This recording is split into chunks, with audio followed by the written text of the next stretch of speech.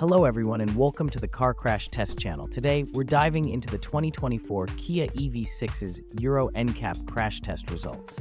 Let's see how this electric SUV performed in keeping you and your passengers safe.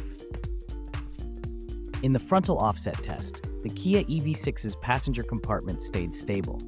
It provided great protection for the knees and femurs of both the driver and passenger.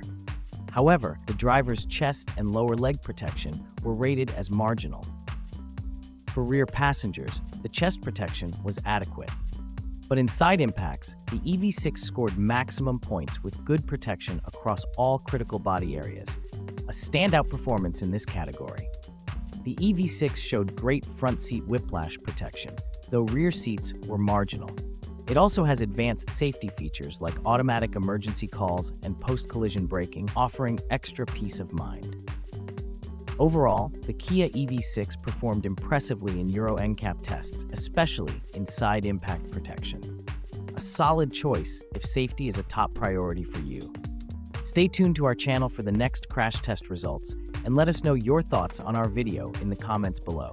Don't forget to like, subscribe, and hit the notification bell to keep up with the automotive safety.